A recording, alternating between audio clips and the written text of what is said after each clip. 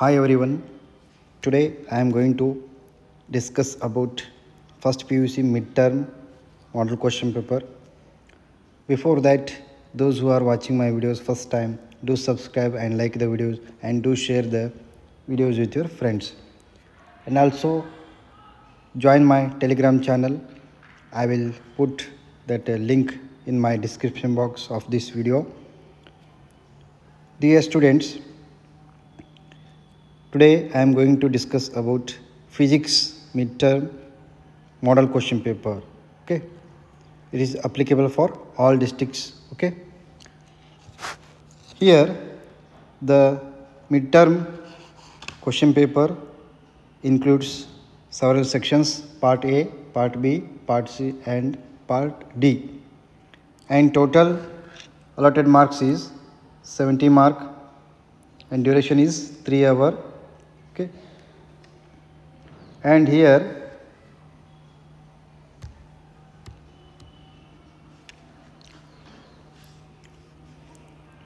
part a section includes 15 questions. Okay. Each question carries one mark total 15 mark.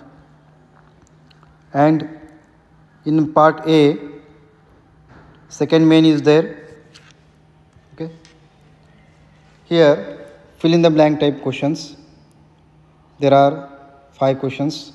Each question carries one mark total five mark. And for making you confusion here one extra option is given in answers bracket okay? One extra option is there. That is the wrong option. You have to while answering you have to choose the correct answer. And okay this completes part a.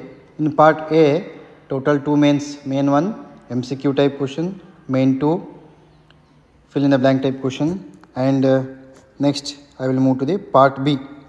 Here this is a part b section. This section belongs two mark type questions. Means you are going to get only two mark type questions in this part. And here each question carries two mark. We have to answer for 5 question 5 into 2 10 okay? Here they are given 3 extra questions. Means we have to answer any 5 plus 3 okay? Extra questions. Out of 8 we have to answer any 5 questions in this main. Okay? Next i will move to the part c. Here part c belongs to 3 mark type questions.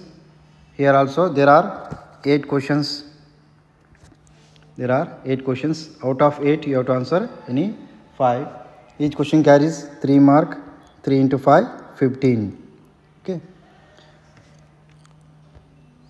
And uh, next main is part d. Part d belongs to 5 mark type questions. Here total there are 5 questions are there. Out of 5 you have to answer any three questions. This is a fifth main that includes derivation type questions. Means we have to derive the answers for particular questions. Each question carries 5 mark, 5 into 3, total 15. Total 15 mark. Means two extra questions are there here. Okay. Next sixth main here sixth main means this is also party main and this main belongs to problem section. You will get only problems in this section okay? Here there are mainly four questions are there okay? One two three four okay? Four questions are there.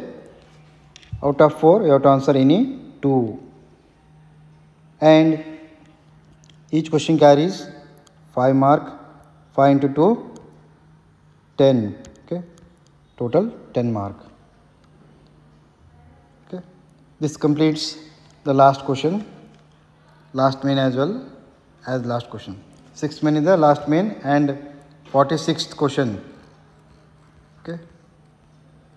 45 yes uh, 45 number is the last question in the midterm.